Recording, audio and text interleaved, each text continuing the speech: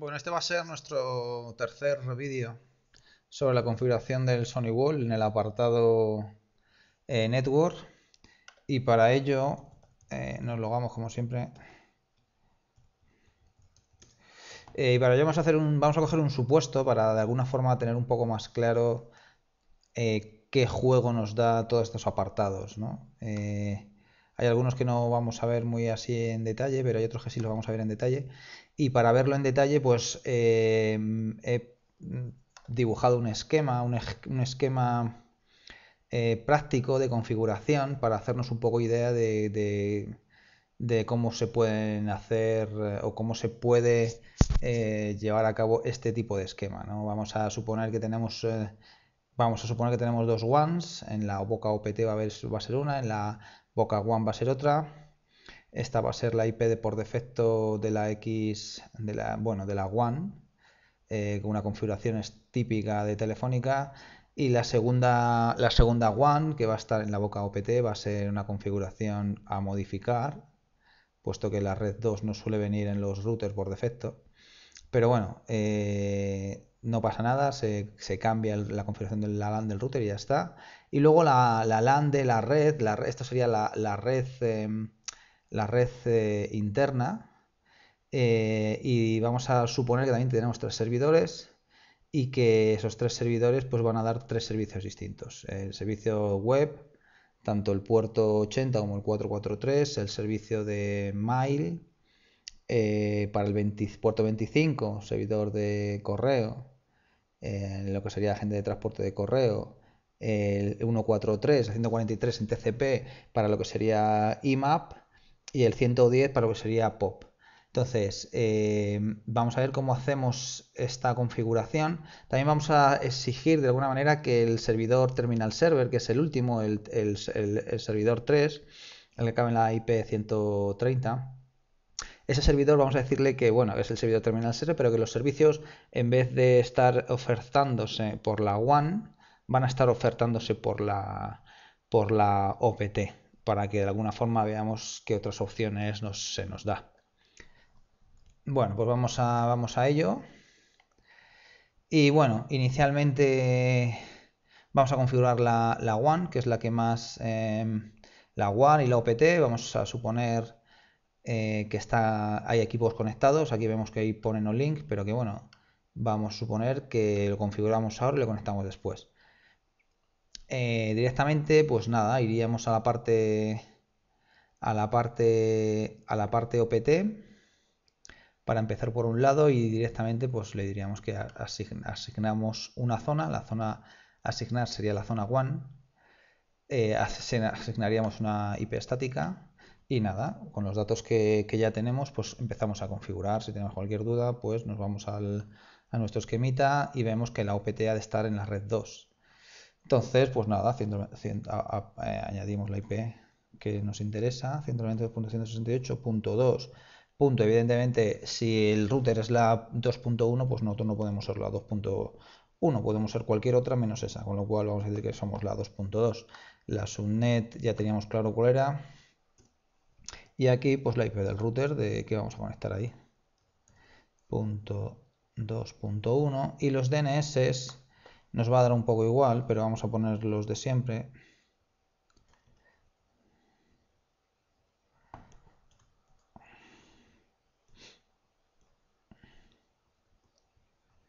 Esto dejamos sin... Vamos a poner one 2 aquí. One 2 y vamos a, vamos a marcar las casillas de gestión, ¿vale? No de gestión HTTP, sino de gestión HTTPS. Esto vamos a tener que modificarlo luego porque hemos dicho que nuestro servidor web eh, que va a dar servicio por las dos ones eh, va a utilizar el puerto 443, con lo cual este puerto vamos a tener que hacer que cambiarlo al, 8443 o al 4343, bueno, al que de alguna forma se nos ocurra. Y en principio pues ya estaría. Aquí hay un parámetro que es el que es la UTM, la MTU, perdón. Eh, la MTU es el tamaño máximo de trama sin fragmentar. Eh, por lo general, este sería el techo de trama. En principio, cuando es tráfico entrante, saliente, sin demás, mm, sin, sin mayor eh, historia, pues nos da un poco igual. Pero cuando se utilizan, se está utilizando tramas para, por ejemplo, para negociación de túneles a nivel IPsec, esto hay que tener mucho cuidado con ello porque a veces impide que los túneles se establezcan y habría que comprobar con detalle eh, qué tamaño máximo de trama nos permite hacer. Luego en otro, en otro vídeo ya mostraremos cómo se hace esto, pero en principio mm, lo vamos a dejar como está, ¿de acuerdo? Bueno, pues aceptamos y ya tenemos que nuestra, que nuestra OPT pertenece a la, a la zona 1, que es la, la 2.2 y bueno, el comentario pues el que le hemos puesto. Aquí vamos a decirle que la IP3 que hemos definido también va a ser la 2. Y esto estaría bien, y esto lo dejamos tal cual está, puesto que nos coincide con nuestro esquema. También vamos a exigir que, que, sea gestionable por, a través de esta otra one. ¿Vale? Y esta sí la desmarco yo porque de alguna forma lo que hace es que cuando te conectas por HTTP te reenruta hacia el, te redirecciona hacia el HTTPS y esto a veces es mejor que incluso ni exista para que no dé pistas de ninguna cosa. También teniendo en cuenta que el HTTP va a estar siendo usado por el propio por el propio eh, ser, uno de los servidores que tenemos ahí, ¿de acuerdo? Eh, avanzado, pues igual, no, no, tendríamos que modificar absolutamente nada más. Y le daríamos al OK. Con esto ya tendríamos, ya tendríamos las dos ones y ya nos quedaría la zona de la, de la LAN. La zona de la LAN, bueno, vamos a, vamos a configurarla, vamos a hacer, bueno, vamos a configurarlo, nos da un poco igual. Vamos a, vamos a seguir el ejemplo que, nos, que, no, que tenemos en el esquema y sería la 10.1, ¿de acuerdo? Que esta IP creo que no la puedo usar. Bueno, pues no la vamos a tocar, ¿de acuerdo? Vamos a suponer que en nuestro esquema no es esta, sino que es la 192.168. 68.168, ¿de acuerdo? ¿El por qué? Pues porque yo tengo en este PC unas otras redes. Aquí vamos a modificarlo, vamos a decir que es el 168.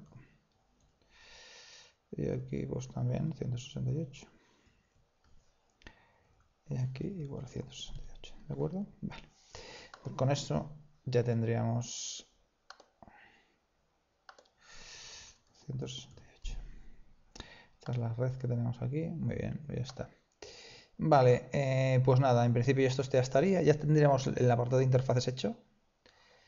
Y nos vamos a ir al segundo apartado, que es el file lover. Eh, como hemos dicho que tenemos dos ones, aquí pues podemos jugar con muchas cosas, ¿no? ¿Qué nos interesa? Imaginémonos que estas dos ones son eh, parecidas, semejantes, ¿no? Pues imaginémonos que es una conexión de 6 megas, 1 mega, o que es de, 10 o de 20, o que una es de, 20 y la otra es de, 12. En fin, que, de alguna forma tenemos eh ADSLs semejantes. ¿Por, qué tienen que ser semejantes? Cuando hay mucha diferencia en, los, anchos de banda, imaginemos que esta es una conexión de, 20 megas, imaginemos, ¿no? Y esta es una conexión de 3, ¿no? Que serían las más bajas. Cuando intentamos hacer eh, balanceo de carga, que sería, que sería que sería lo suyo en, este, en estos casos, pues la máquina nos da diferentes tipos de, balanceo. ¿no? El, tip, que viene por defecto es el failover, eh, que sería cuando la one se nos cae, entraría la OPT, o sea, la segunda one, o podemos decirle por round robin. Round robin indicaría que cada conexión establecida nueva eh, va a ir permutándola entre la one y la OPT, o, eh, one OPT, one OPT, de tal manera de que se genera una especie como de balanceo por conexiones. Eso no quiere decir que las conexiones no se, no se mantengan, no se mantengan, ¿vale? Eh, y luego estaría el spillover. el spillover se basa en cuánto ancho de banda se excede eh, de un determinado tráfico. Eh, claro, eh, aquí en este, en este caso, si por ejemplo nosotros tenemos una de las, la, la one principal, que es la que nos sirve de referencia, es de, imaginémonos 6 megas, pues tendríamos que decirle, pues a ver, em, cuando el tráfico se exceda de menos de 6 megas, porque si no, no tiene mucho sentido, estaríamos siempre eh, colapsando la, la WAN principal, pues imaginemos que podríamos poner aquí 5 o 4 megas. Cuando, se excede de 4 megas, eh, envía tráfico por la otra. ¿vale? Esto sería el, spillover bus. Y luego está el porcentaje. Aquí es donde la, diferencias muy grandes de, de ones, de anchos de banda de diferentes eh, ones, pues puede ser un problema. Eh, porque estamos hablando de porcentajes.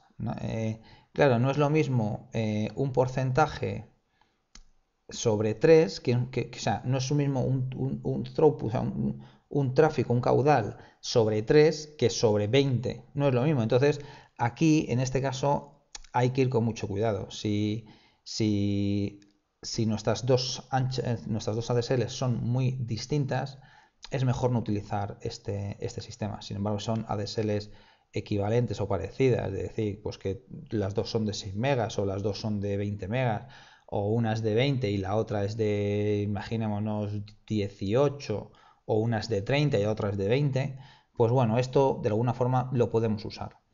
¿Cómo funciona esto? Pues muy fácil. El porcentaje que, tú pongas aquí, si quieres hacer un, 50%, pues automáticamente veis que se viene reflejado aquí. Esto, en estos casos, sería importante marcar esta opción, porque bueno, se, utilizan conexiones TCP, mm, la IP origen eh, de una de las WAN no puede ser cambiada cuando la conexión es establecida, porque la conexión se rompería. Entonces, eh, marcando esta opción, eh, siempre la conexión se va a mantener. Aunque el porcentaje, aunque de alguna forma por una de las WANs se, se sobrepase este porcentaje, esa conexión no va a cambiar a la otra porque implicaría una rotura de la conexión, una, desconexión. El porcentaje, bueno, pues en el caso del porcentaje sería este, o, pues se podría cambiar, incluso poner un 10 aquí, un 90 en el otro lado, aquí esto un poco a libre albedrío. La opción más, em, más eh, la, opción típica es esta, ¿no? La de la de el failover. Siempre, siempre o bien failover o, o round robin. Siempre teniendo en cuenta que cuando haces eh, failover, mm, la segunda one va a quedar eh, sin uso prácticamente, a no ser que, por ejemplo, en nuestro caso, se le use para dar servicios a la calle. Como en el ejemplo que estábamos hablando, a los servicios terminal server. ¿no? La opción, o sea, en, el, diagrama, eh, este esquema lo que nos va a decir es que todo el tráfico inicial hacia Internet va a salir de la WAN y va a ir por la, por de la LAM y va a salir por la WAN eh, hacia Internet por aquí. Los servicios del servidor 1 y servidor 2, el web y el mail, van a ir por las dos, pero el servicio de terminal server va a ir necesariamente por la OPT. En caso de hacer un failover, eh, todo el tráfico, siempre la conexión a Internet va a ir por la WAN, por esta WAN de aquí, y en el caso de rotura de la WAN va a ir por la OPT. Como estamos utilizando esta segunda WAN para el vamos a usar esta segunda WAN para el servicio terminal server, pues de alguna forma sí se va a estar usando. Va a estar usándose permanentemente para el servicio terminal server. El web y el mail van a ir por las dos, pero el servicio terminal server va a ir exclusivamente por aquí. Eh, bien. Vamos a suponer que hacemos eh, balanceo de carga con, con failover y de alguna forma esto ya estaría, o sea, aquí no habría que hacer gran cosa más.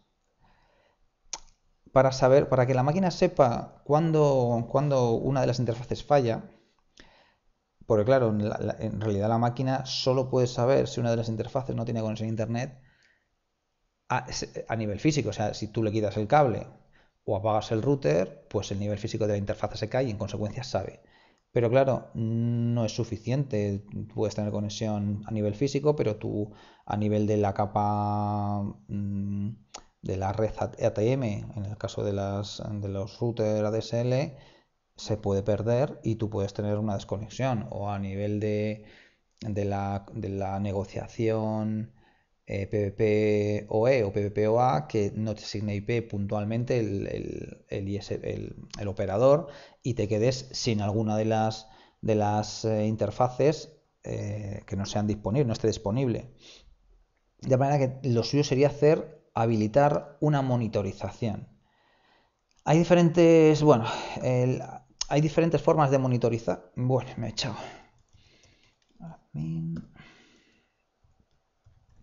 password, las de por defecto. Y como decíamos, hay diferentes maneras. Eh,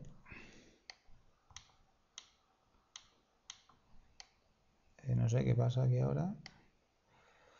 Ah, porque no está el failover activado. Vale. Bueno, vamos a aplicar aquí para que quede fijado. Esto ya lo dijimos el otro día y vamos a habilitar la prueba. Eh, hay diferentes pruebas, formas de probar que cada interfaz esté funcionando. Eh, son muy sencillas, se traduce literalmente.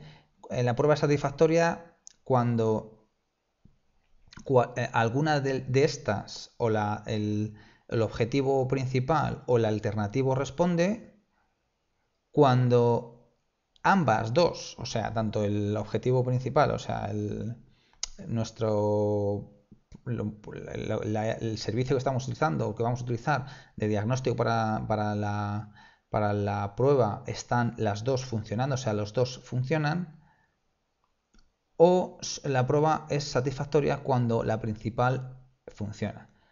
O también la otra, la otra opción es que siempre es satisfactoria, o sea, aquí la prueba es siempre sí. ¿De acuerdo? Eh, nosotros vamos a utilizar, en realidad utilizamos la utilizamos, a no tener la one definida nos va a dar problemas, pero bueno, vamos a suponer que cogemos ambas, ¿vale? Y ya vemos aquí que nos dan las opciones main target y alternativa target y tenemos diferentes opciones, o bien pruebas de pin a pelo, sin más, o pruebas de TCP. Y en pruebas de TCP podemos cambiar los puertos. Siempre se asignan siempre se asignan IPs, pero curiosamente, en el caso del TCP, podemos utilizar esta opción. Esta opción en realidad es SonyWall, ¿no? SonyWall eh, viene definido de forma interna y podemos utilizar SonyWall como elemento de prueba. Eh, esta sería para la, la WAN principal y este sería para la WAN secundaria, en este, nuestro caso OPT. Y aquí tendremos que hacer exactamente igual.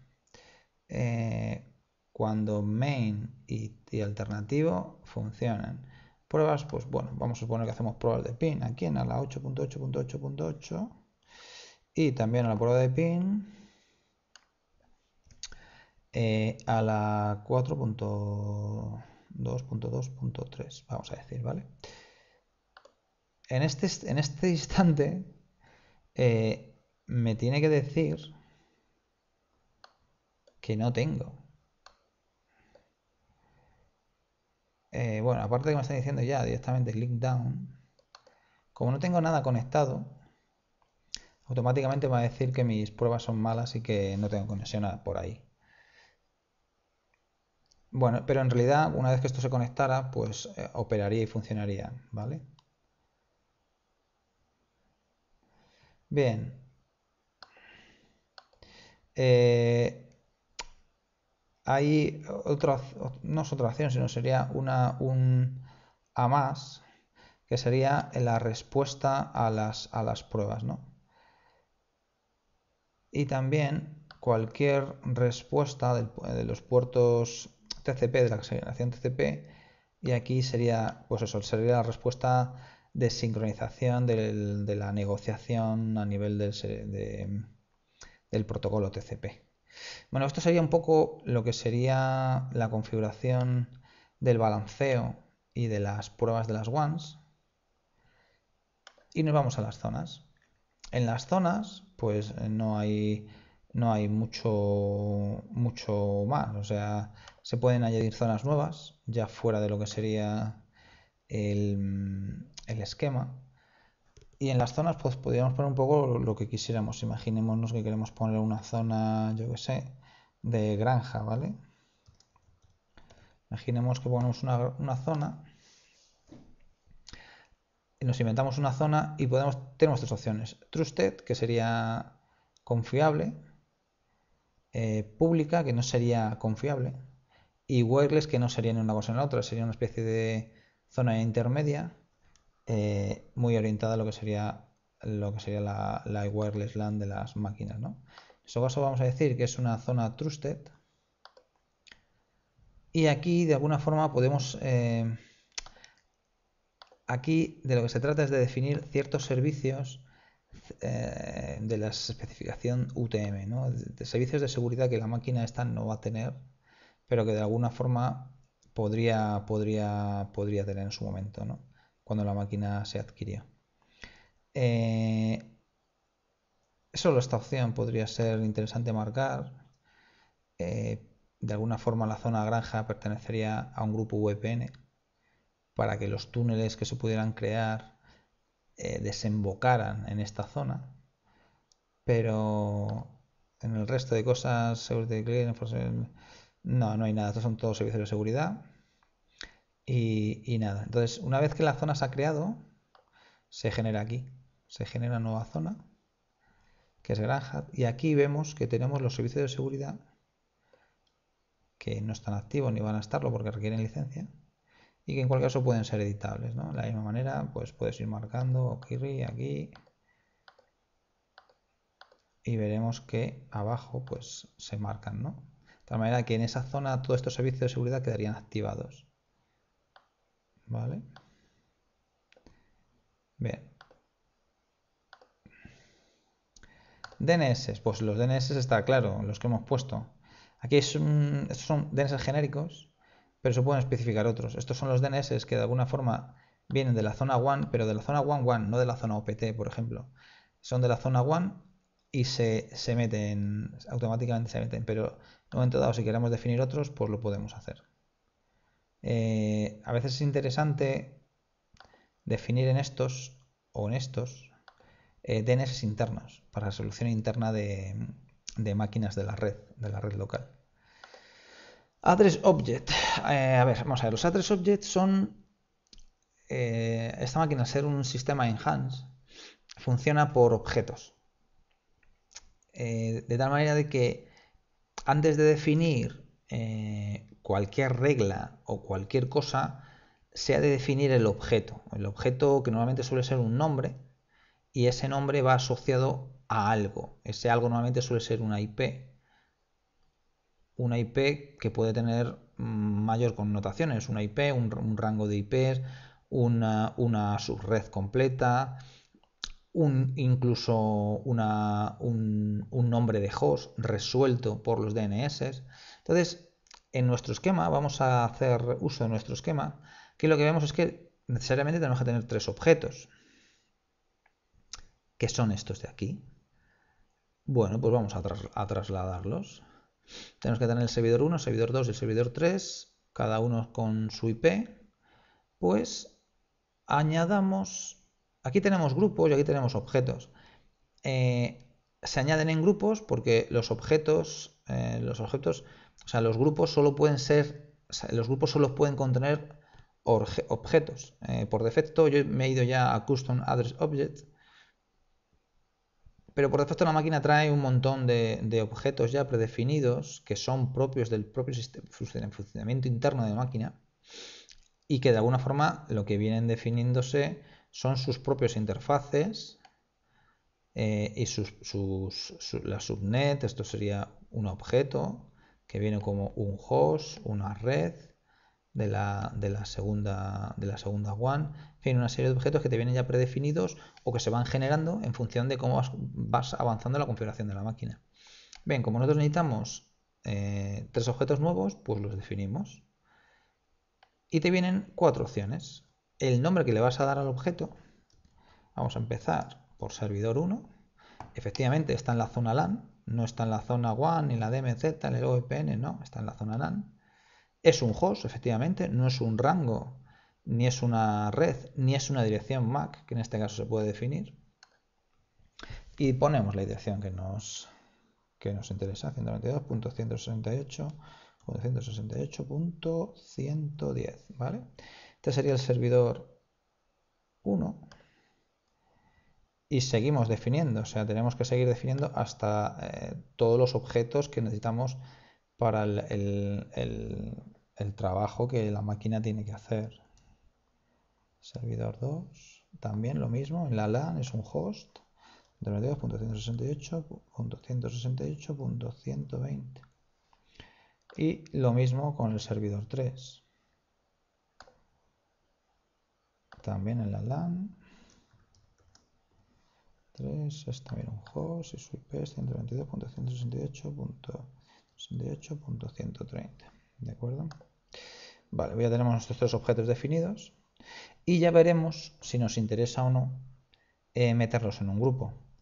Eh, quizás si nos interese meter el servidor 1 y el servidor 2 en un grupo, dado que van a ser los objetos que van a tener que salir tanto por la WAN 1 como por la WAN 2. Pero quizás el servidor 3 no nos interese, dado que este servidor solo va a salir por la WAN 2. Con lo cual de entrada vamos a crear un grupo que se va a llamar srv WAN ones para las dos ones y buscamos aquí en el apartado de nombres pues los, eh, los que hemos definido nosotros. Y aquí los tenemos, servidor 1 y servidor 2. Servidor Uy, servidor 2, claro. Once, ¿vale? Y ya tenemos un grupito que nos define claramente qué es cada cosa. ¿De acuerdo? Bien, routing. Bueno, en el apartado de, objetos de red no hay mucho más, o sea, sería no hay no hay gran cosa, o sea, esto sería ir definiendo objetos en función de las cosas que los equipos, em, impresoras, servidores, PCs, todo lo que a nosotros nos interesa que tenga definido la máquina, eh, hay clientes que lo quieren todo, quieren definir absolutamente todo, desde una impresora de tickets hasta, aunque, no se, aunque luego no se haga nada con ella. Pero bueno, a veces es interesante tenerlo todo eh, metido dentro de la máquina. También es verdad que estas máquinas tienen unos límites de capacidad de, objetos, de creación de objetos. Creo que son 256 objetos, los máximos se pueden crear en este modelo de máquina. Y a veces pues no es muy inteligente meterlo todo sin más. Bueno, eh, vamos a routing. Routing pues es está claro que es routing, es routing es enrutado. ¿Enrutado a través de qué? A través de cualquier cosa. Eh, hay un dato curioso aquí. Las todas estas reglas salen en gris porque eh, no, no hay cable pinchado, ¿no? No hay cable pinchado en, en ninguna de las interfaces. Al no haber ningún cable pinchado, estas reglas de enrutado quedan en suspenso hasta que no hay un nivel físico detectado y establecido. En cuanto que eso se, se produjera, como es este caso, pues se levantarían, ¿no? Se crearían, se pondrían en negro y de alguna forma tendrían efecto. Ahora mismo no tienen efecto porque, bueno, como hemos dicho, ni la WAN ni la OPT o la WAN 2 tienen cable, con lo cual la máquina automáticamente eh, suspende cualquier regla de routing que obligara a enviar tráfico por ahí. Bien, vamos, como hemos dicho, el, servidor terminal server, que es el servidor 3, vamos a definir que su tráfico eh, salga por la WAN 2. No solo que el servicio esté definido por la, por la WAN 2, sino que también él, pues por lo que sea, porque nos interesa, efectos de prueba, pues para, para que se pueda demostrar aquí, vamos a decirle que exclusivamente él sale por la WAN 2. Y entonces aquí tenemos los objetos. ¿Qué objeto es la fuente? Pues el servidor 3. Destino. mm, como no hay un destino definido, sino que de alguna forma pretendemos que sea cualquier cosa, pues any. Any sería cualquier cosa. Servicio. Aquí podemos distinguir entre que el servicio terminal server única y exclusivamente salga eh, por la WAN 2 o que cualquier servicio salga por la WAN 2. De tal manera de que no solo el servicio terminal server, que ya de alguna forma ha de venir definido. Eh, esto sería... Aquí está, terminal server, tanto en TCP como UDP. Yo aquí si, pusiera eh, servicio terminal server, solo sacaría el tráfico del servidor 3 hacia cualquier destino de los servicios terminal server. Pero en nuestro caso es, es que no, no queremos solo que sea el servicio terminal server, sino cualquier otro tráfico que esa máquina pueda enviar salga por la, por la WAN 2. Gateway, pues evidentemente es secundario de Full Gateway, que es nuestra WAN 2. La interfase, pues la OPT, que es lo que yo llamo WAN 2. Métrica 1 y aquí comentario, pues nada. Ruta del TS por WAN 2. WAN 2. Y en principio ya estaría la ruta. Aquí la tenemos que tener. Aquí la tenemos. El 130 hacia cualquier sitio, hacia cualquier servicio por la, por la WAN 2. Esto es lo que nos haría, y bueno, el comentario. ¿Vale? Esto es que esta máquina, su tráfico, va a ir siempre por la, por la interfaz OPT. Bueno, políticas de NAT. Eh, también por defecto, eh, la máquina genera políticas de NAT eh, cuando se definen ciertas configuraciones en la máquina. se ve claramente que son auto añadidas porque lo pone ahí en el comentario la propia máquina genera un comentario un bocadillo de comentario en el que dice que es autoañadido por la máquina. Eso no quita que se puedan desactivar. Normalmente esto mejor es no hacerlo porque por algo ha hecho... Bueno, en realidad estas rutas creo que son las rutas que genera la máquina para el tráfico de, de LAN a OPT y el tráfico de LAN a WAN, ¿vale? Son reglas de NAT. Vale, en nuestro caso, pues como hemos dicho, el terminal server va a ir por la WAN 2, y los otros dos servidores van a ir por la, por la otro lado y eso genera unos serie de servicios, pues nada, vamos a empezar a generar eh, las reglas de NAT que, implica, que implican esto. Hay un detalle que no he hecho y es que hay que generar eh, grupos de servicios, ¿no? porque si no se generan muchas reglas de NAT. Lo suyo sería generar grupos de servicios, pues por ejemplo con el es que esto está en el otro apartado y no quisiera irme a otro apartado, pero bueno, vamos a intentar hacer aquí, a ver qué podemos intentar hacer aquí. Efecto de demostración. Original source. Bueno, la regla de NAT de alguna forma define desde dónde viene el paquete, desde dónde viene el paquete, hacia dónde, dónde va a ir el paquete y luego la regla de NAT que hace la máquina para que a donde ha llegado ese paquete tenga que ser trasladado a la red interna hacia quién de la red interna. En este caso sería, pues imaginémonos que desde Internet cualquiera se quiere conectar al servidor terminal server, pues bueno, pues desde cualquier sitio, con lo cual sería desde cualquiera. Fuente origen, fuente de origen, cualquiera. Trasladate source, mm, no, no queremos trasladar esta IP. Se puede trasladar, o sea, se podría llegar a trasladar, incluso hacer una traslación. Cuando la, cuando la IP de origen es, ya no podría ser any, tendría que ser otra, pero también podría ser any. Desde cualquier fuente, desde cualquier IP origen y se la transforma, y de aquella forma habría que haber, haber tenido un, objeto, haberla transformado en una determinada IP, ¿vale? Esta sería una, una, traslación primera, pero en el caso convencional no, no, se requiere hacer nada de esto y de alguna forma es eh, cualquier IP origen sin trasladar, con lo cual original, tal cual venga, eh, destino origen. El destino origen es en realidad la WAN, ¿de acuerdo? No es em, el servidor que va a tener el servicio, sino la IP origen es esta, cualquiera. ¿Hacia dónde va? Hacia mi IP WAN, la IP WAN de Internet. Y esa IP WAN de Internet, a efecto del Sony Wall, es la, la IP de la boca WAN o de las bocas WANs. ¿De acuerdo? Entonces, Original Destination.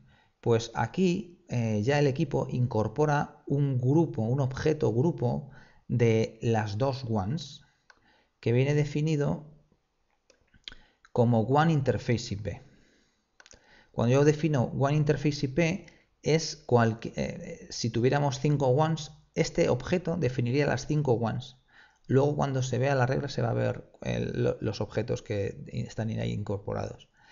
Eh, de destination, pues en este caso ya sí, yo tengo una IP, mi, paquete ha venido desde cualquier sitio, no lo transformo, me llega a mi interfase one y a dónde lo quiero mandar. Pues aquí sería a mi servidor terminal server. que sería mi servidor 3. Eh, servicio original, pues evidentemente el servicio terminal server.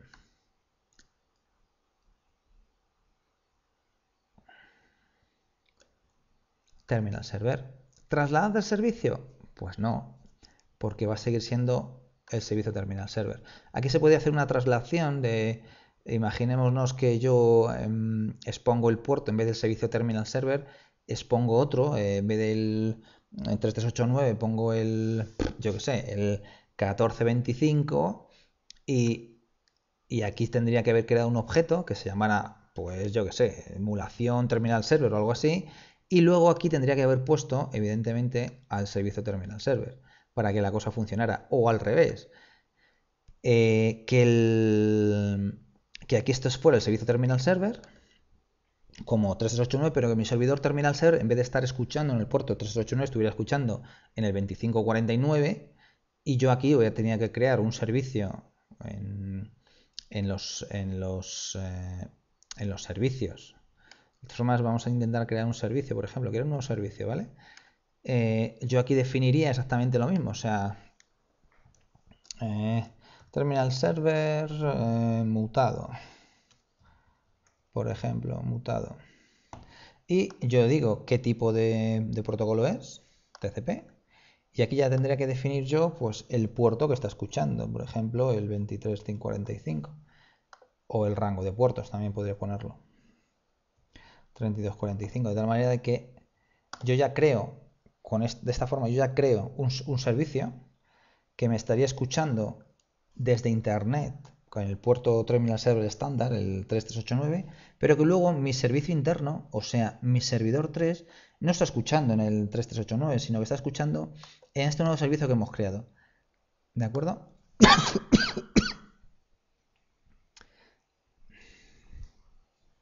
Bueno, eh, deshacemos esto. Sería el servicio original, o sea, arrastraríamos el puerto terminal server 389 al, adentro. Y luego en los inbound, outbound, esto es un poco caótico, porque realmente, ¿de dónde viene? Desde la one. Y el, pero ¿cuál es la interfase de salida? Que esto es un poco mm, confuso y por defecto yo siempre lo pongo como desde cualquier sitio a cualquier sitio. De tal manera que ya tengo aquí una definición bastante clara mm, desde dónde, hacia dónde qué servicios y demás. Y a nivel de interfase, pues e, evidentemente sería eh, desde, la, desde la OPT, en nuestro caso, hacia la LAN, pero a veces esto no es exactamente así, porque interviene también el tráfico saliente y el tráfico saliente es outbound y el tráfico saliente desde ya no sería la LAN, el tráfico saliente sería la OPT y el tráfico entrante sería la LAN eh, a la hora de, la respuesta de la, negociación, porque esto en realidad es una, es una política de NAT. Bien, em, aquí hay una opción, bueno, esto vamos a dejarlo como any, ¿de acuerdo? Y aquí podríamos poner un comentario, sería srv3 por one 2 opt, ¿vale? Eh, habilitar la política de NAT, aquí podemos directamente generar la política pero no activarla, dejarla inactiva o directamente activarla como viene por defecto. Y luego viene esta regla que es crear política reflexiva, que es justamente lo que os estaba comentando antes. En una regla de NAT, el tráfico de alguna forma es bidireccional y aunque esta regla no es estrictamente necesaria crearla, eh, a veces eh, es interesante crearla cuando algo no, va bien. ¿De acuerdo? Con esto, sin, sin, más, y sin crear la política reflexiva, ya funcionaría o debería de funcionar. Dándole un OK, la regla se crea. Si no... Y aquí es donde vamos a ver lo de las ones que decíamos, ¿no? El objeto que viene por defecto, ahí aparece.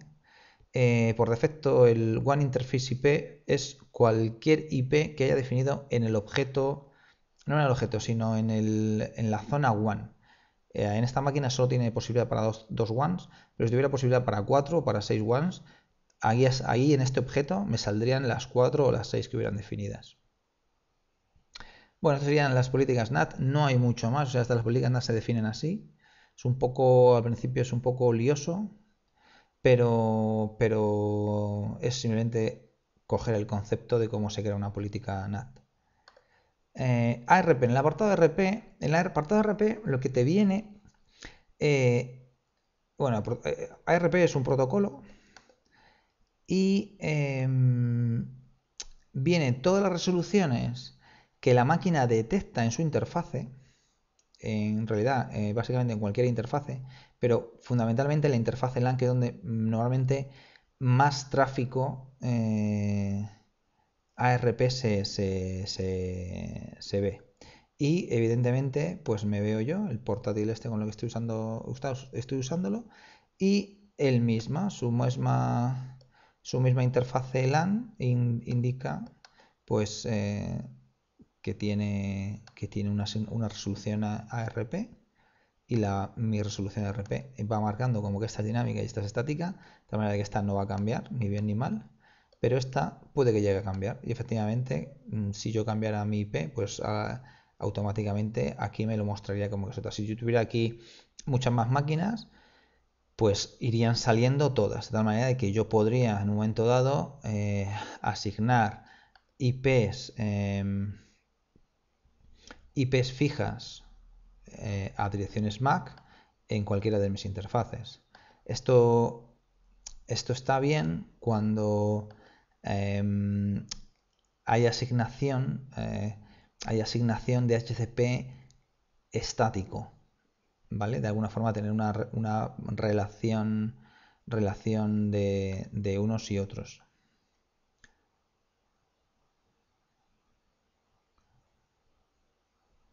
¿Vale? También una forma de borrar las cachés ARP.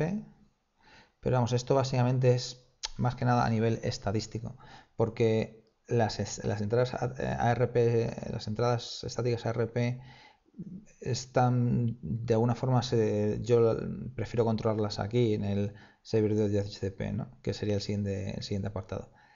Eh, la propia máquina incorpora un servidor interno de DHCP que por defecto, por defecto genera de forma automática en cuanto que la interfaz LAN se define un rango que es el que, es el que viene mm, que viene este es el que viene por defecto pero bueno cualquier cosa este rango es modificable. Sin más yo puedo decirle que mi rango sea desde el 200 por ejemplo hasta el 210 el 220 vale y ya el resto de parámetros, pues no, no, no te deja tocarlos, por decirlo de alguna manera, ¿no? Eh, más que nada porque hay cosas que no se pueden tocar, no se deberían tocar. Sin embargo, este, este parámetro mm, puede ser interesante cambiarlo. Eh, por defecto va, va, a incorporar estos DNS, pero podríamos especificar otros. ¿De acuerdo? O sea, no, no habría mayor problema especificar cualquier otro a nivel de DNS. ¿De acuerdo? Es, con esto lo que hacemos es heredar los DNS de, las, de la configuración DNS del, equipo. Y luego tenemos la pestaña configuración de voz IP. Aquí, en caso de tener sistemas de voz IP Eh, básicamente lo que serían eh, SIP. Aquí podrían poner los servidores, eh, los servidores que de alguna forma tendrían que, que, se tuvieran en la red. Esto la verdad es que nunca he tenido que configurar esto y aún teniendo servidores de voz IP basados en SIP no ha habido necesidad de configurar aquí absolutamente nada. Bueno, esto, esto, esto sería todo a nivel de, de, este apartado. Y eh, habría que, aquí tienes opciones, ¿no? Habilitar o no habilitar. El, puedes habilitar más rangos, añadir rangos estáticos como decíamos antes. Y de la misma manera se habilita eh, Claro, tendrías que tener la, la MAC address de la, de la máquina eh, a la cual quieres asignar de forma estática esa IP. ¿De acuerdo? O sea, también se le asignaría un nombre. Se le pondría un IP. Sí, pero aquí no. Aquí.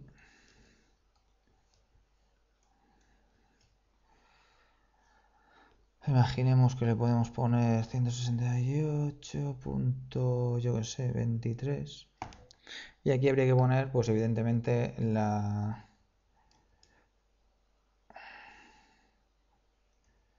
Vamos a decir ed 1, 2, 4, 5, 3, 2, 4, 6, 8, 10, 12. Me queda otro más y ya está. De alguna forma yo tendría mi, mi mi, asignación estática.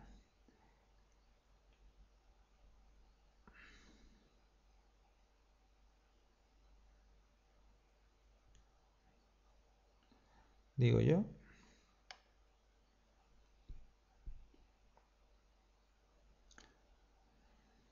Aquí tendría mi asignación estática en la en la en Milán quedaría automáticamente activada o desactivada en caso de que lo tocara. ¿De acuerdo?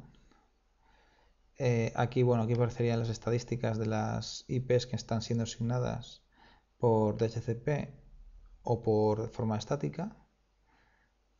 Esto directamente lo vamos a dejar como estaba a nivel de que sea una asignación.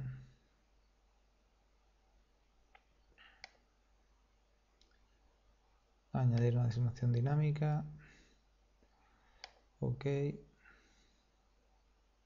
Bueno aquí nos da un error porque la asignación que nos hemos hecho nos sobre se nos nos está pisando con la asignación que nosotros tenemos en la estática con lo cual tenemos que corregir o por un lado o por otro es decir que este es el 24.24 y este va a ser el 90 por ejemplo ¿vale? esto ya es un poco a libre albedrío de cada uno. Una vez que le decimos eso, ya tendríamos nuestro, nuestra asignación estática y nuestra asignación dinámica.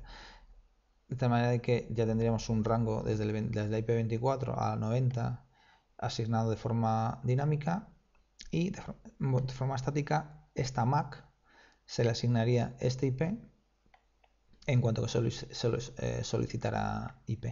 Luego habría que habilitarlo, evidentemente, y habilitar, esta es una opción que, bueno, conviene habilitarla, eh, la detección de, conflictos de, en, la, en, las tramas ARP, para que la máquina de alguna forma vigile un poco este tipo de tráfico. Eh, IP Helper. IP Helper es, una ayuda, eh, básicamente, eh, yo realmente la uso para, para NetBIOS, ¿de acuerdo? NetBIOS a veces cuando estás utilizando eh, túneles sobre todo es un poco engorroso que el tráfico NetBIOS pase de un extremo al otro y de alguna forma hay que habilitarlo, o sea, habilitar el IP helper, habilitar el soporte NetBIOS en mi caso y evidentemente crear la regla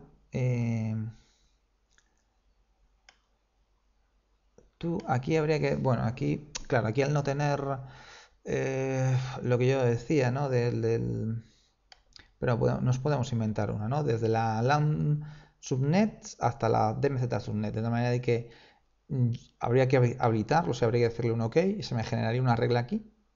Y evidentemente tiene que estar habilitada. Si no está habilitado, esta... Eh, bueno, aquí se nos ha desarmado otra vez. Si no está habilitado esto, así tal cual lo estamos haciendo, no va a ser, el IP helper no va a funcionar.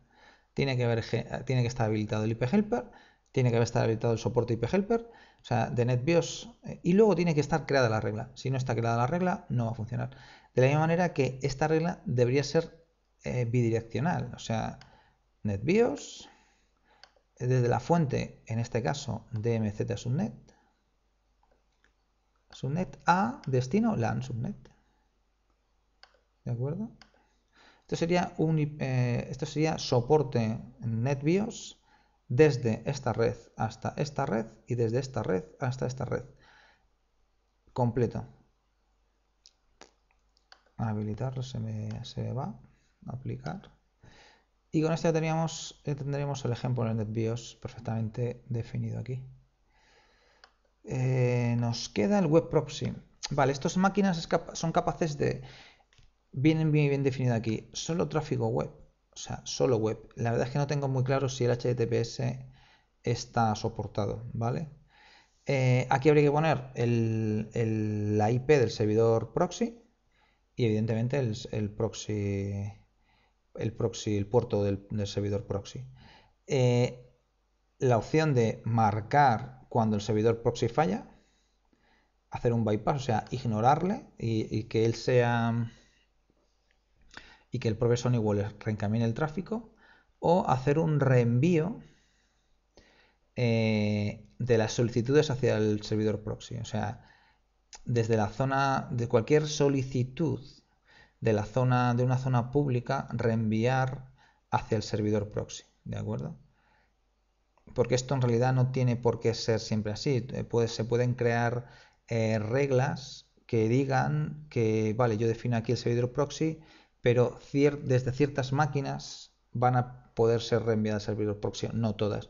Si yo defino aquí un, una IP del servidor proxy, el puerto, y le digo que reenviar eh, las solicitudes de los clientes de la, de la zona pública de los clientes al servidor proxy, todo el mundo que estén en las zonas públicas van a ser reencaminados al servidor proxy.